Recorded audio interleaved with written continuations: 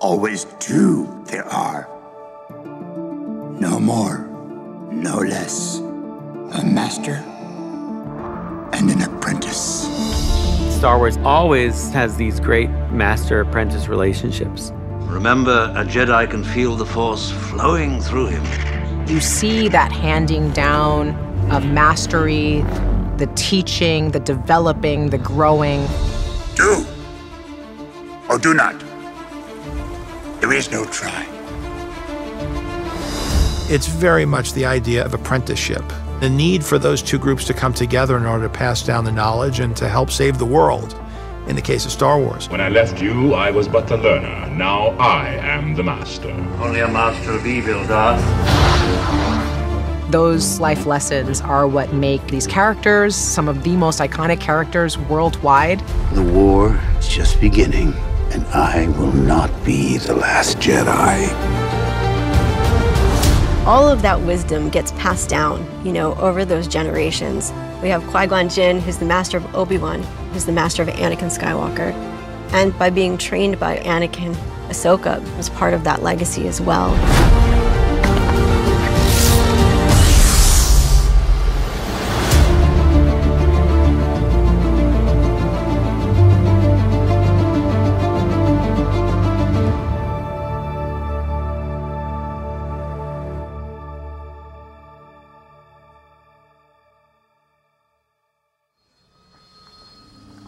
Ahsoka is a character that Dave Filoni created and worked with George Lucas on in the Clone Wars.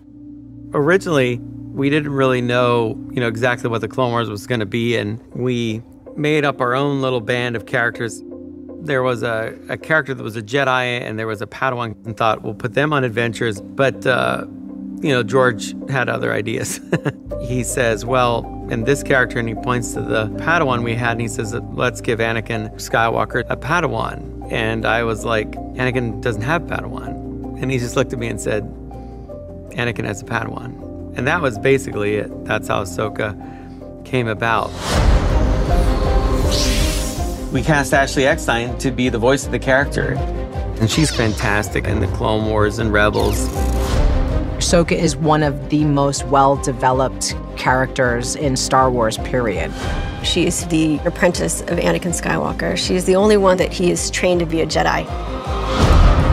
This young teenage girl who was trained to be a keeper of the peace had to become a warrior worthy of standing next to the greatest Jedi of all time.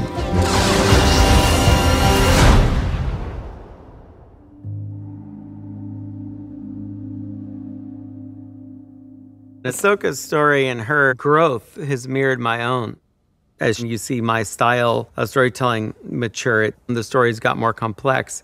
It had grown to the point where I wanted to take what I was doing in animation and really see if I could get it to this type of storytelling that I'd grown up with in Star Wars. Mandalorian season one was a perfect place for me to experiment with my own creativity and style but have a great backstop and support from collaborating with all these other extraordinary people. You must reunite it with its own kind. This is the way.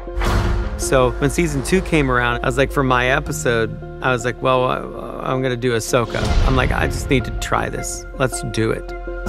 Ahsoka Tano, Bo-Katan sent me. I hope it's about him. For a character that has such depth and complexity, to bring that character to live action made a tremendous amount of sense. Tell me what I want to know. Where is your master? George visited the set when we were filming the lightsaber fight in the Japanese garden, season two. And I think it was really encouraging of Dave stepping up to this role. And so George would turn to Kathy and myself and be proud of Dave. He was Dave's teacher, and Dave was his apprentice.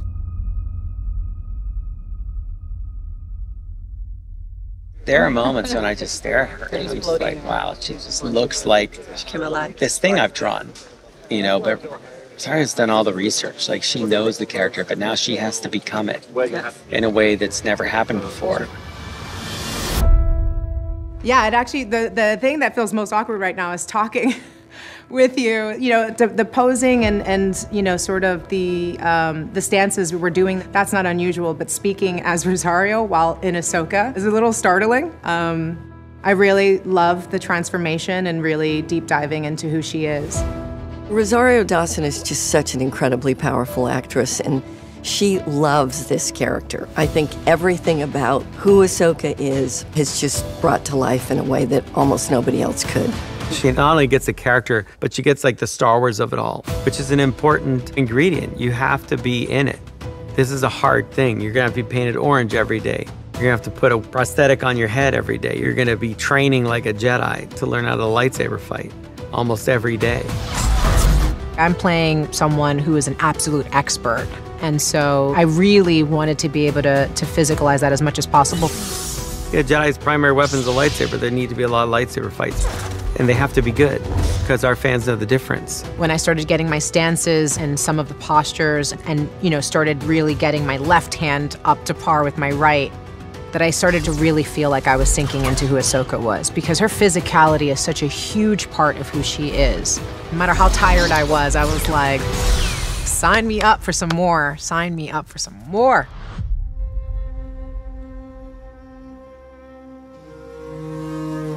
When you step into Star Wars and work with George, you are part of a legacy.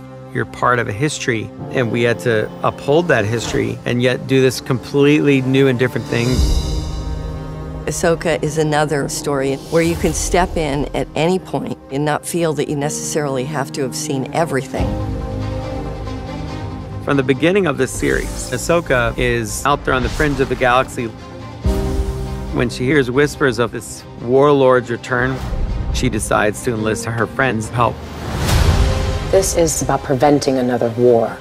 You know who could help? Sabine Wren. I'm not sure she'll want to help. I'm telling the story about this mentor student relationship that passes from Anakin to Ahsoka to Sabine. There is nothing easy about being a Jedi. It's quite extraordinary to bring this to life. When the stakes are this high, we have to do what's right.